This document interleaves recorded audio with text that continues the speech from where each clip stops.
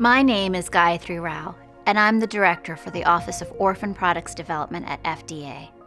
My office's mission is to promote the development of products like drugs, biologics, devices, and medical foods for patients with rare diseases. One very common stumbling block in rare disease drug development is that we don't know enough about the natural history of the rare disease being studied.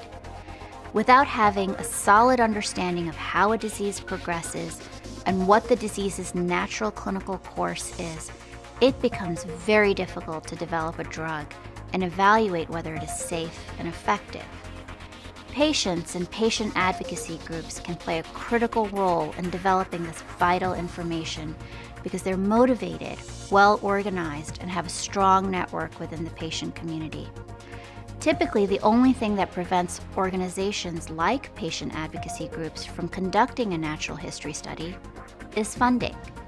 To help fill this gap, I'm very excited to announce that my office will be launching a new grant program to fund targeted rare disease natural history studies that will meaningfully inform and guide product development for rare diseases, whether it be the development of drugs, biologics, devices, or medical foods.